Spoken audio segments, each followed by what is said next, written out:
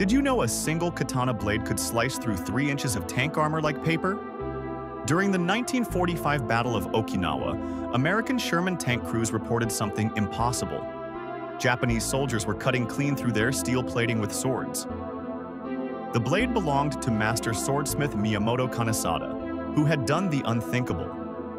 He forged his katana using iron from the Sikhote-Alin meteorite.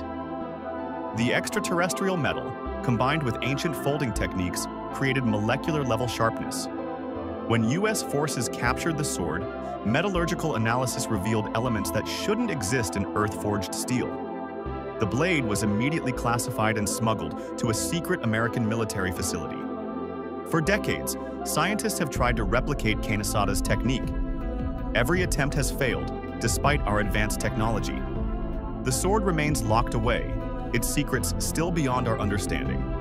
A weapon forged from the stars that modern science cannot recreate.